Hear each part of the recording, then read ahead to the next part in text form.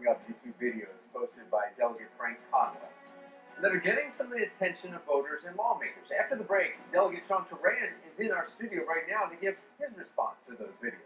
725 is the time. You're watching Fox 45 Morning News. All local, all morning. Frank Conaway Jr. here. We're talking about Christian Kundalini and science. That's me.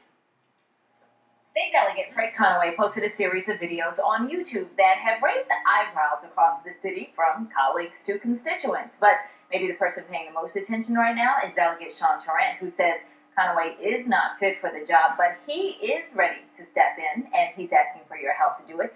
Delegate Shawn Tarrant is joining us this morning. Good, Good morning. How are you? I'm good. All right. The videos, what do you think about them? Well, the videos are something uh, very disturbing, something that uh, we kind of knew he had this potential to do something like this. Mm-hmm. Uh, however, we never had anything real to show people to say, hey, this guy is, is absolutely not fit to serve.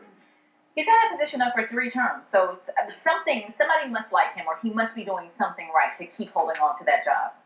He has a last name that's very familiar. Uh, he and his, his dad and his sister, uh, the stepmother, uh, run for office in every election, so people see a very, very familiar name. Uh, and so that's the, the thing that he's doing most right is having uh, the right name that people are, are comfortable voting for. But that's all about all. So why is now the time to get him out and for you to step in? A lot of people say, well, you, you know, you, you had a chance, you were not uh, reelected in the primary, Right. so why now? Oh, there's always a right time to do the right thing. Okay. So, so things. Let, let's make sure we make that point. So the thing is, for for him to go back to Annapolis, knowing that we're, got only 16 delegates, we had 18. At one time, we had 32 delegates from Baltimore City, and so during the primary, um, Senator Pugh and, and, and Delegate Robinson and I, uh, we voted him off the ticket because Okay. we knew of these problems that he had. So we didn't put him on our ticket. So it's not So- like you're jumping on the bandwagon No, no, now. oh, You, no. I mean, there was a problem Yeah, there was a before problem that was addressed. That's why we put him.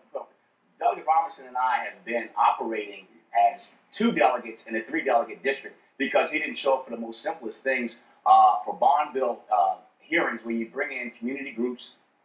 You would have uh, the chance to get money from uh, all kinds of neighborhood organizations. Mm-hmm. He would never show up on Saturday, so we'd have to actually um, sit in for him and present legislation. So he's always had these problems. And so when the community came, he said, Shawn Tarrant, we need you. You're in leadership. You work at the Speaker's office, you work at the governor's office. We want you to be a write-in candidate. And so I'm stepping up, not because it's right for me, but it's right for the community. Baltimore City has issues as far as we got to keep the money for school construction. We have Mhm. issues of public safety in Baltimore.